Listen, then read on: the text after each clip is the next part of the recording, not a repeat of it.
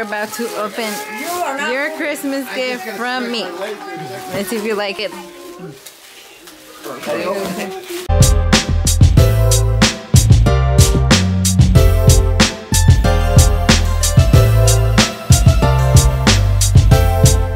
I'm ready to go running. It is Monday afternoon. I was gonna say morning, but it's not morning. I tried waking up this morning at 4.30 to go running. Didn't work out. Yeah. I'm gonna get this run done now since I didn't do it in the morning. It is currently like 5.30? It's 5.30, but it's pretty dark out. So I'm gonna run five miles under 140 beats per minute can we just take a minute and appreciate my little Christmas tree and all the gifts? Yeah, so um, after I go running, I'm gonna come back and I'm going to go pick up my boyfriend's gift. I didn't get it over the weekend, obviously because he was here and he can't see his gift. So I'm gonna go pick it up and wrap it up and hide it in the back of all the other Christmas gifts. Tomorrow, Tuesday, December 19th yeah, December 19 is a very important day. I have my last time trial before I start training for Boston. My coach is actually going to meet me at the track and I'm going to do my time trial, which is actually a good thing because every time he's there, I always run faster because I'm trying to impress him. I am back from my run. I had a really good five mile run. Besides the fact that my freaking shoulder has been hurting for the past it's going on to this is the third week. Back here. I can feel like a tingling sensation running down my back and that is not normal. I've had this pain before. For example um when I run like a 20 mile run then my shoulder starts cramping up and I know it's because I'm, I'm like too tense and I have to like loosen up and stuff. And then it goes away. It only hurts for that time. But that pain just started staying with me all throughout the day. I started getting that tingling feeling I was telling you about and it just wouldn't go away. And the first week I had it I was like okay it's time for me to go get a massage. I got a massage it didn't go away. It continued for another whole week. I finally texted my coach and I told him about it.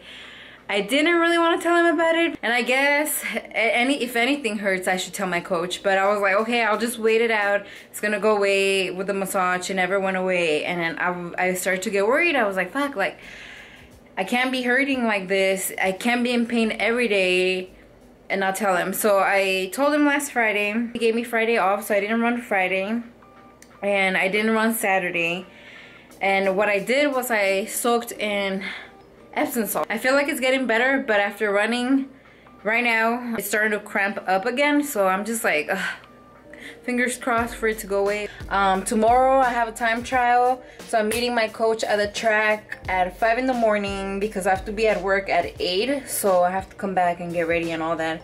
The time trial only takes like an hour. Anytime that I have an injury, I think for any athlete out there, you can relate. You don't want to be in pain. You don't want to be hurting because then it affects your running and then I just feel like I'm not good enough. That's why I didn't want to tell my coach because I feel like he's gonna think I'm falling apart.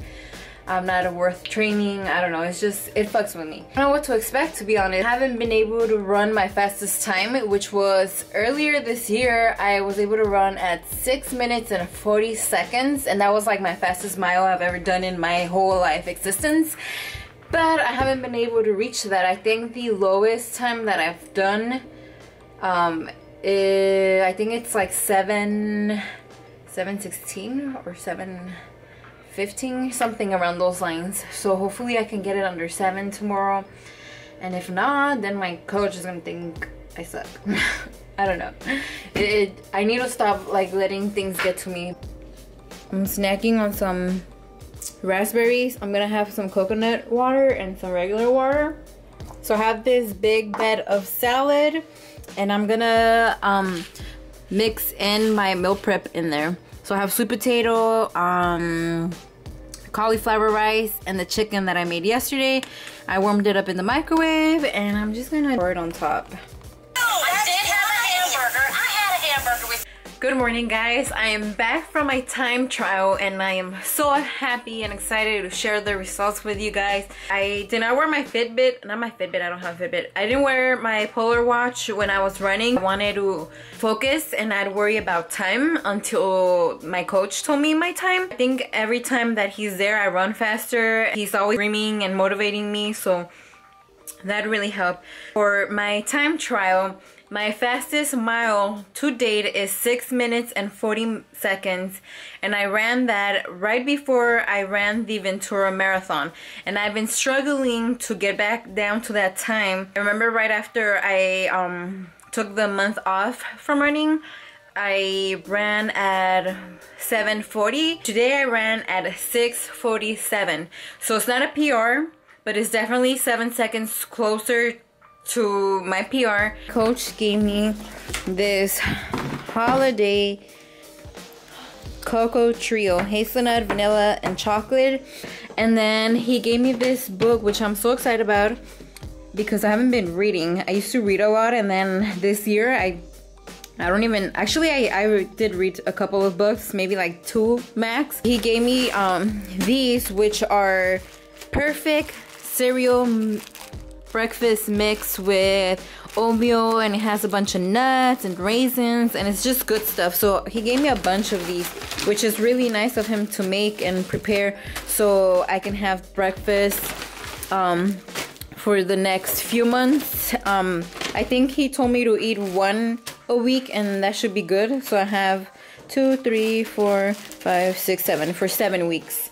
So I'm sad. For lunch I'm packing a small salad and I'm gonna do the same thing I did yesterday after my run. I'm gonna warm this up, mix it in there, make a tofu teriyaki um, brown rice salad, I guess. I also always take a yogurt with me, some fruit, and then um, lately I've been getting into these Luna bars, which um, the macros are not too bad, and it only has five grams of sugar, which is awesome.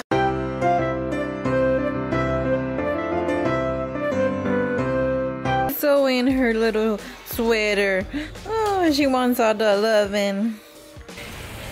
It is Christmas Eve. I have my Christmas sweater on. I have my Santa ears on.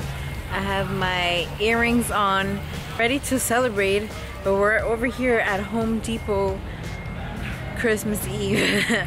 and I thought we were the only ones here, but apparently that one person who just passed behind me, he's here too. What are we doing, babe? We're doing some, some, last, last minute, minute Christmas shopping. My mom loves cactuses. Good morning, guys. It is Christmas morning, so Merry Christmas to you if you celebrate, and Happy Holidays if you don't celebrate. I'm red because I'm sitting in front of the Christmas tree. It is. What is that?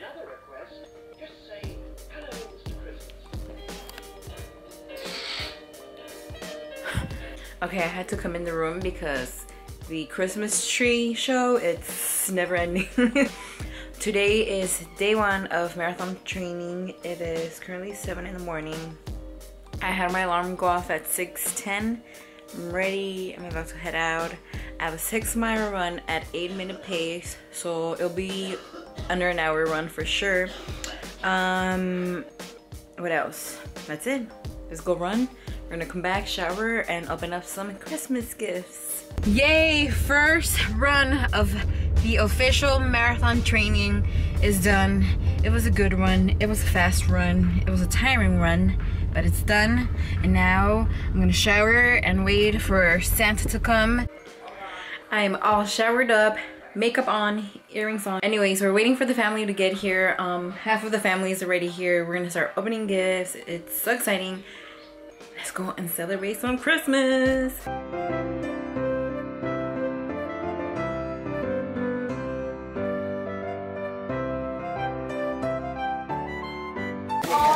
So you're about to open your Christmas gift from me. Let's see if you like it. I didn't have tape, so I have to wrap it with. Oh, hey, I think I got you. All that. Listen, Adriana dropped something right now. Oh, that's yours. That's yours from Mom and Grandpa. Thank you guys.